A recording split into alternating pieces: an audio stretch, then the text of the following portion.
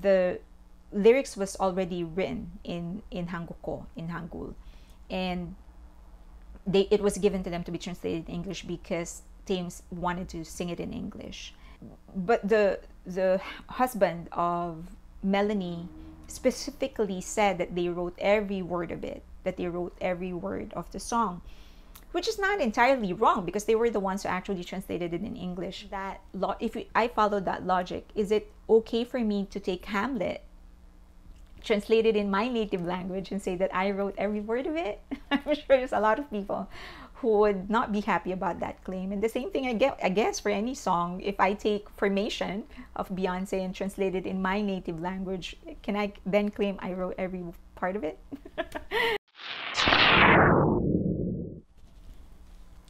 Hi, I got some emails and requests for cl- to clarify the issue about Melanie Fontana. I didn't actually want to do it in the beginning because it was so chaotic. That day when it blew up on Twitter, it was so chaotic. But because you requested, okay, let's try it. Let's try to understand what happened. In the interest of being a bit more organized, let's actually go chronological. So th- this issue has actually been bubbling for a while, but it actually the peak actually happened the day Taehyung got snatched the record away from Adele for having uh, a song get to number one of iTunes in the most number of countries. I hope that made sense. but anyway, he I think he has 112 countries now for Sweet Night, which is a solo song uh, of Taehyung. So for those of you who don't know, Melanie Fontana is a one of the co-writers. So she has co-written some of the songs of BTS, including "Boy with Luv," "Euphoria," on and Sweet Night of Taehyung. And Mikrokosmos, I think she also did that. She has a manager. Um, his name is Justin. And I guess the manager is quite good because he's been getting her a lot of press. For those who are not familiar with with how things work here, so if you have a manager, a manager would actually be trying to get you some publicity, you know, some press time and they do that by getting publicists and stuff or maybe the manager is also a publicist i don't know. But he does get a lot of press for her and it all started with billboard. Billboard actually interviewed four of the six female songwriters co-collaborators or collaborator yeah co-writers of of bts in in love yourself. And um, there were six, there were actually six female co-writers in there and they were able to interview four uh, halsey who is also credited as a co-writer of boy with luv and adora which is uh, an, an internal producer and co-writer of of big hit didn't provide an interview with billboard. So there were four others who provided an interview who gave an interview to billboard. And one of them is melanie fontana However, of the four, Melanie is the one who's constantly getting interviews and stuff. Maybe because she has a good manager. Who knows? The thing is that in some of the pieces that have been written about her, they would constantly credit her. There, there was this one article that says she's the secret weapon of BTS. And that we can't say that that's her fault. That's probably the the choice of the writer who wrote the article. That's probably her headline. In other interviews that she would provide she would constantly say things like oh they're singing my song. And then there was this one post she did on IG I think and she was I think she was watching the concert. And Jungkook was actually singing Euphoria which she co-created and she said NBD no big deal this that's my song or I wrote that song or something like that. And so armies took issue about how she would phrase the things that she would say. Like the way she would say this these are my songs, which is not entirely wrong because she's credited as a co-writer and so it's actually her song. But that's also not entirely right because she's it's not just hers. She's a co-owner of the song. She's one of the co-collaborators, but that she's she's not the only owner. Um, and then there's about this thing about Boy with Luv when she said um, she she actually talked about her encounter with BTS and and she approached BTS when she was in the chorus. Uh, she was a backup singer in in SNL, and she got the chance to talk to to RM and she said you know thank you for getting take you for taking my song or and so she asked him what did you think about the song that I wrote and and RM said that thank you you saved us with your melodies and um, she talked about it, I guess, in her interviews as if that is her song. But in RM would usually do a live. She would he would explain the process of the album making, how they wrote the songs, the original meaning of the songs and stuff. And in the V Live that he did for Boy with Luv, he explained specifically that it was very hard for him to write a Korean lyrics on the melodies that Melanie wrote. 네, 그래서 우선 저는 이 앨범에서 작사봇이에요, 작사봇. 어, 역대 어느 앨범보다 많은 작사를 했고요. 슈가 형과 호비 랩 파트를 빼고 한 80%에서 90% 정도 거의 대부분의 가사를 제가 어, 쓰게 되었던 것 같습니다. 그것보다 제가 멜라니가 이제 유포리아와 유포리아 작곡가죠. 저희 SNL 뒤에서 코러스 해준 멜라니. 아, 너무 고맙고. 이 왔을 때 처음에 막 이랬었던 것 같아요. 막 Listen, mama, baby, I'm all follows, I ain't gonna so fast. I'ma take it to la to la in la. I sing what you to me, cozy. Let's sing for no body, going to say. 뭐 이런 식이에요. 아, 뭐 그래가지고 이게 스타카토 아 뭐라 그래야 돼? 트리플렛이 아니고 그 두 개씩 이게 두두 두. 이거잖아요. 야 이거 한글을 붙이는 게 여러분 한번 붙여보세요 이 말 말고 다른 걸로 진짜 어려워요 한글 붙이기 그래서 이거를 한 이 부분만 한 3일 생각한 것 같아요 레슨 마마 리슨 마마 베이비를 어째서 그래서 결국엔 유지하는 방향으로 갔는데 잘한 것 같아요 그거 근데 어 원래는 막 이제 사실 말이야 나는 너를 너무 지금 돌아갈 수 있고 뭐뭐 뭐, 나는 너한테 그렇게 돌아갈 거야 작은 사랑, 작은 마음, 너무 고맙단다. 뭐야, 이 한글 붙여보세요. 진짜 되게 짜쳐요. 되게 짜쳐요. 그래서 이 멜로디에 맞는 가사를 찾는 데가 가는 게 진짜 힘들었고, 정말 이 말 자체는 이제 여러분만 알 수 있죠. 리스 마마 베이비 나는 저 하늘을 높이 날고 있어. Or it seems that in the the in the V live RM said that she wrote the chorus, the melody of the chorus of Boy with Luv. And so that's it seems that that's all she did with Boy with Luv. I'm not sure if I'm entirely right. RM though specifically said that he changed 99% of it and he kept Oh My My My and one more line.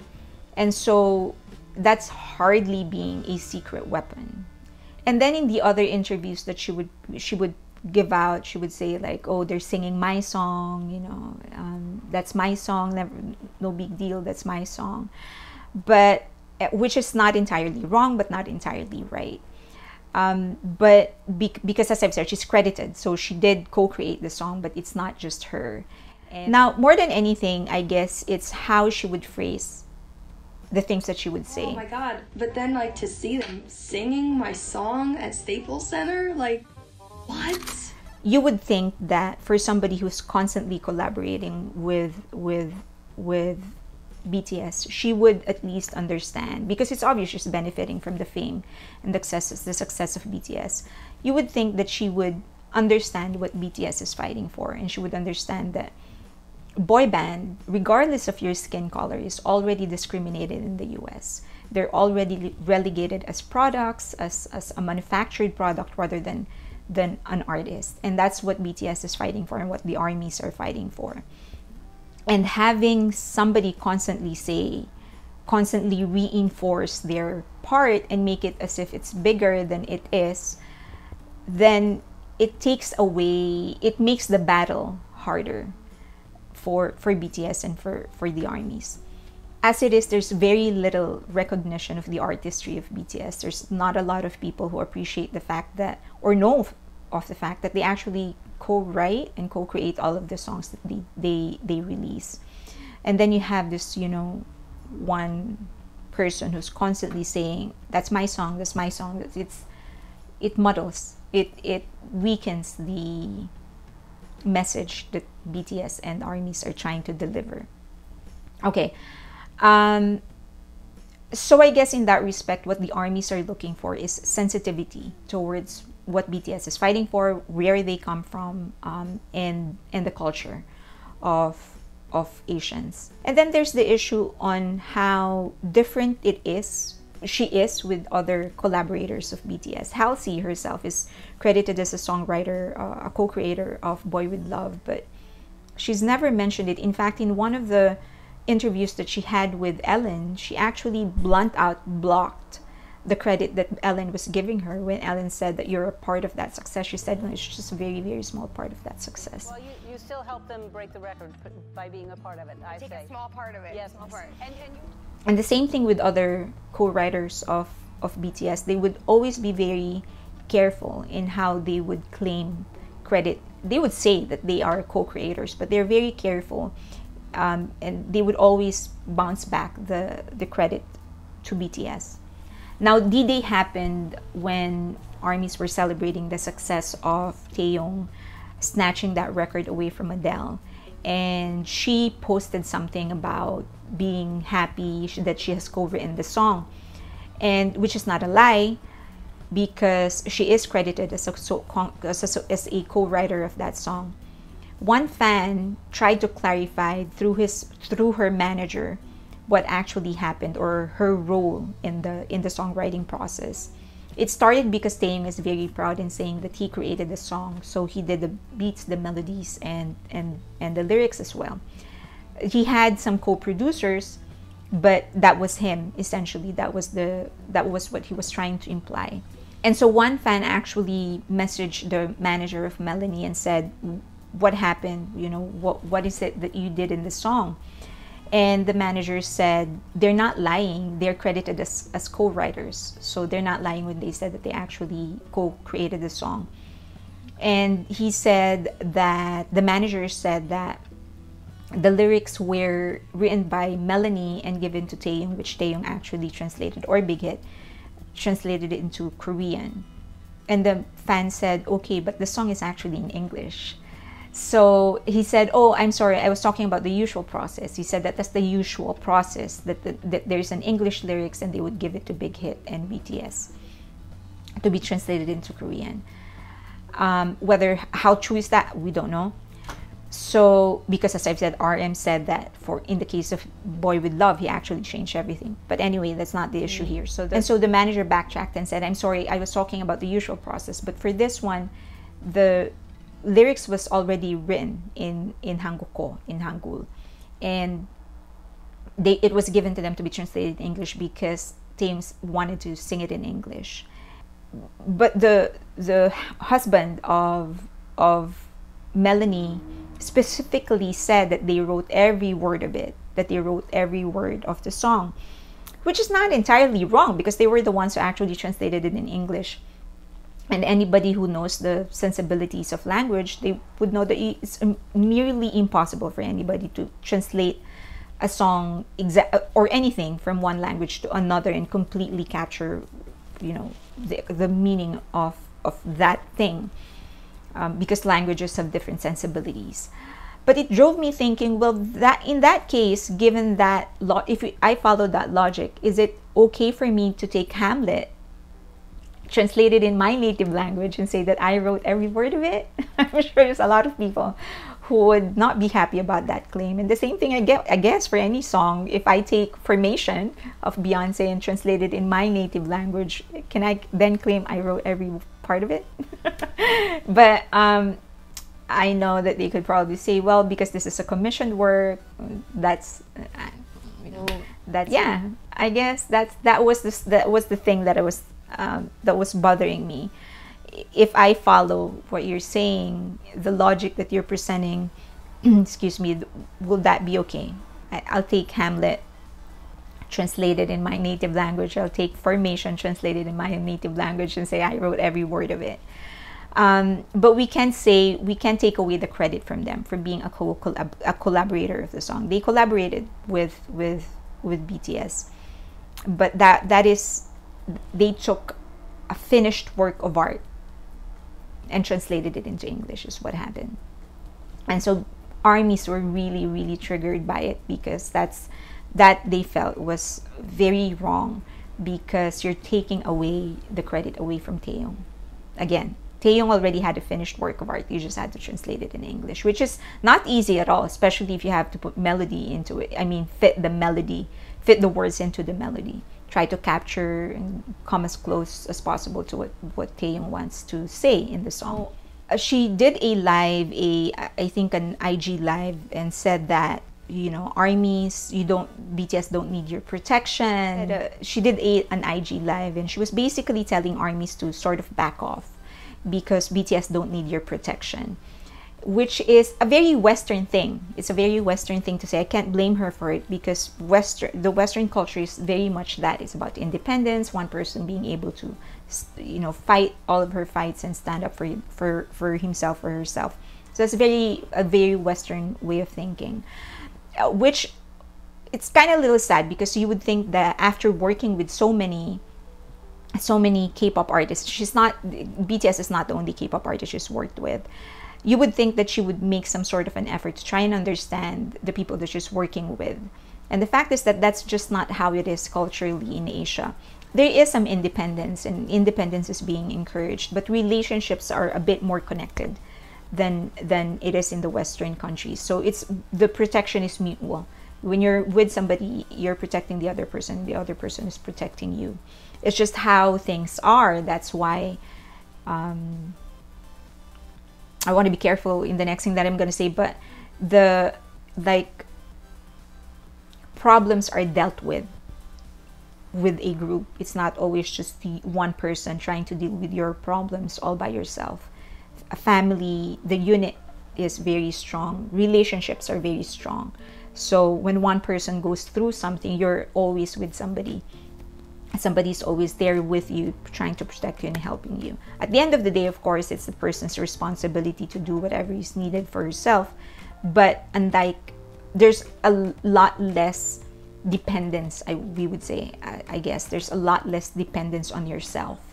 Um, unit and and support from people that you love and you, you know families and friends that's very much encouraged and very very strong in asia. And so that was just a little sad when she said it because i felt like oh there's you would think that she would understand that. And especially in the case of the armies and bts if you're if you know how bts became really successful they don't even have a management company here in the in the us and so there's a lot of that is really that's really armies you know. They're they're the marketing company they're the marketing organization of bts in the us and all over the world basically. So i guess we can't fully fault melanie for taking credit. I mean that this is her living. This is her profession of course. Any kind of professional would know that you want to establish your skill and how good you have done in your in your in your profession. And she's no different from anybody else who's trying to earn a living these are her her creations and this is how she makes a living and she wants to establish herself. So you can't take that away from her. That's her job. That's her profession. On the other hand um, it goes two ways. You can't also fault the armies and bts for trying to establish their their you their artistry their authenticity but then there's that added layer of sensitivity towards the history of BTS and the armies, what they have gone through, what they're fighting for. If you're, if you're somebody who has benefited greatly from from the success and fame of BTS, then you would expect that come on, you know, you you try to be a little bit more sensitive in what we're fighting for. And that fight is all about trying to establish the artistry, authenticity of BTS and armies is an integral part of it. What if if you're writing for Beyonce or Taylor Swift, you know, will you be able to assert your ownership on those songs as much as you're doing it for for BTS? So uh, I I would be happy to talk to to Melanie if she's willing to give her side of the story, but I try to be as balanced as possible. That is it.